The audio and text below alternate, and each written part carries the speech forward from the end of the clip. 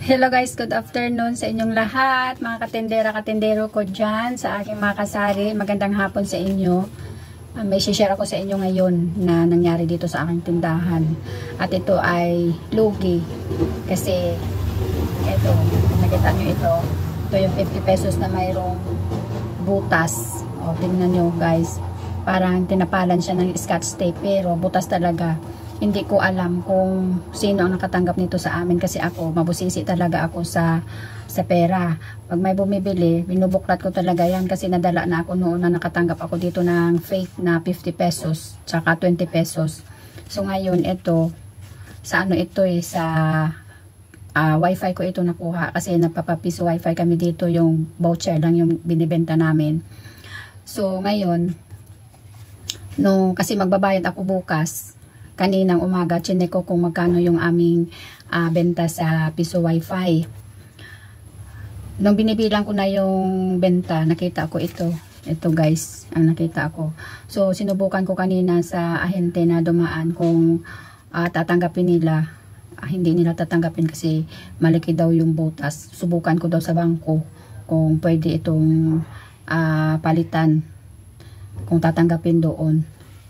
So, 'di ba, nakakapanghinayang kasi hindi nila tinignan yung tinatanggap nila na pera. So, ngayon, niisip ko na wala na akong habulin dito dahil uh, hindi na alam kung sino ang nagbayad nito sa piso wifi. So, ngayon guys, lugi tayo ng 50 pesos. Kung halimbawa na na 5 pesos lang yung binili niyang voucher. So, may tubo pa siya na 45 pesos. Ako yung lugi ng 45 pesos. Hindi po ba? Kasi 50 pesos ito eh. Napakaingay ng kapaligiran. Pero kailangan ko talagang mag-video kasi wala akong i-upload at ito nga i-share ko sa inyo na sana balik tayo guys sana maging aware din kayo sa pera na tinatanggap ninyo kasi ito nga siguro yung kung hindi yung asawa ko ang nakatanggap nito yung anak ko. Kasi yung asawa ko naman hindi yan ano eh hindi yan kumbaga pag nakatanggap lang siya okay lang di na niya tinitingnan. Pero ako talagang tinitingnan ko yung pera kung may diferensya ba o wala. Kasi sa isip siguro niya baka nakatupi ng ganito. O di po ba? Pag ganito yung nakatupi hindi mo na makikita yung butas at saka tinanggap na lang niya. Nilagay doon sa bintahan ng aming piso wifi kasi nakahiwala yung yung benta ng piso wifi namin sa tindahan. So, ayun. Ngayon ko lang talaga nakita nung nung binilang ko na yung aming benta kasi nga magbabayad kami bukas. So, ito, lugi na. So, sana guys, makonsensya yung bumili nito pero siguro matagal na kasi bago ako magbilang ng aming piso wifi ay isang buwan kasi magbabayad nga lang Magbabayad kami bukas kasi 24. So, kanina ko lang ito na pansin at parang pagkakuha ko nito parang nasa ilalim na ng benta. So, matagal na siguro ito at hindi na konsensya yung bumili nito na nagkakapera pa siya. Ah, 'di ba? Malaking ano ito, malaking lugi. Siyempre, kung 5 piso lang yung binili niya, eh, nagkapera pa siya ng 45 pesos. Kasi hindi, na, hindi niya tumabili sa ibang tindahan eh.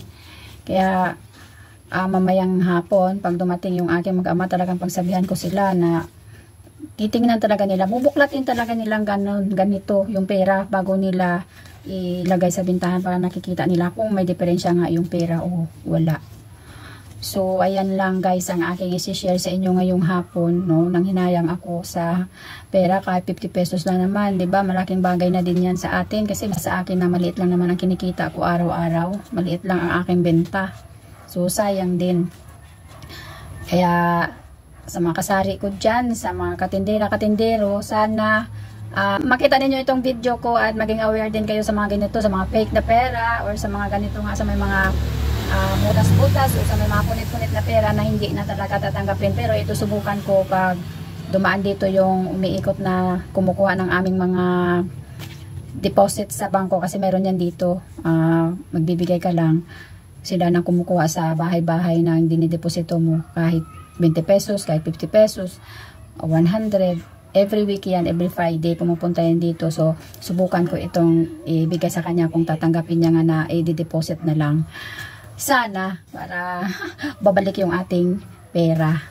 At yun lang guys, ang aking share sa inyo ngayong hapon. At mag-shoutout tayo ngayon guys. Magpapasalamat lang ako sa aking mga kaibigan sa uh, YouTube. Maraming maraming salamat kay uh, Phyllis Life in Lebanon. Maraming salamat sa iyo, Madam, sa pag-share mo ng aking video. Thank you so much po. Kay Sir Jerry Vlog. Maraming maraming salamat, Sir Jerry. Ang laki ng tulong mo sa akin at ang dami kong natutunan sa iyo. Kay She80. Thank you, sis, sa tulong. Uh, ako lang malakas. Maraming salamat sa pag-view ng aking mga video. Jing Vlog, ayan. Ma'am Honey Official, thank you so much, ma'am. Sa sa hinintay ko pa. Maraming maraming salamat sa iyo. Sa Totski TV. Maraming salamat lagi, Tots, sa mga turo mo sa amin. Kay Tendera ng Samar, sa una-una kong friends sa YouTube. Barbie Store Vlog. Thank you sis. Kay Ate JB na laging nakasubaybay sa aking mga video. Laging nagre-react at nagko-comment. Ate RS Vlog. Maraming salamat. Adana Vlog at kay Eileen Store, kay Maring Eileen. Maraming maraming salamat sa support ninyo sa akin at sa mga hindi ko nabanggit sa susunod na na video ko uh, magsa-shout out na naman ako na mga hindi ko nasabi ngayon. At maraming maraming salamat sa inyong lahat. Hanggang dito na lang ang aking video.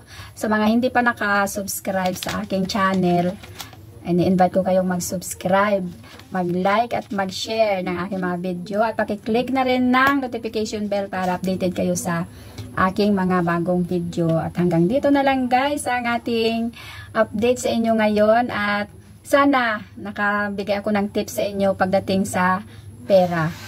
Hanggang dito na lang. Bye bye guys. God bless sa inyong lahat.